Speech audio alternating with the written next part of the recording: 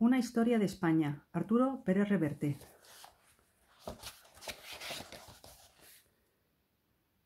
Es decir, que los políticos en el poder no solo declararon a confesional la República, pretendieron disolver las órdenes religiosas, fomentaron el matrimonio civil y el divorcio, y quisieron imponer la educación laica multiplicando las escuelas, lo que era bueno y deseable, sino que además dieron pajera libre a los descerebrados, a los bestias, a los criminales y a los incontrolados que al mes de proclamarse el asunto empezaron a quemar iglesias y conventos y a montar desparrames callejeros que nadie reprimía.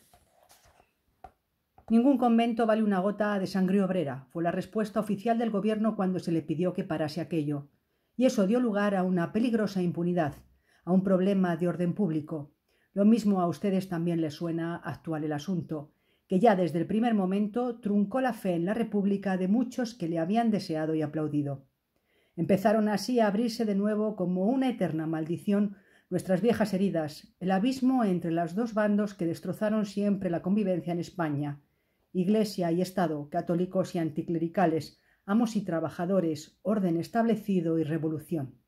A consecuencia de estos antagonismos, como señala el historiador Julián Casanova, la República encontró enormes dificultades para consolidarse y tuvo que enfrentarse a fuertes desafíos desde arriba y desde abajo,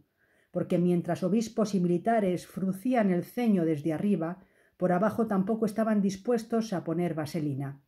Después de tanto soportar injusticias y miseria, cargados de razones, de ganas y de rencor, Anarquistas y socialistas tenían prisa y también ideas propias sobre cómo acelerar el cambio de las cosas. Y del mismo modo que derechas e izquierdas habían conspirado contra la Primera República, haciéndola imposible, la España eterna, siempre a gusto bajo la sombra de Caín, se disponía a hacer lo mismo con la Segunda.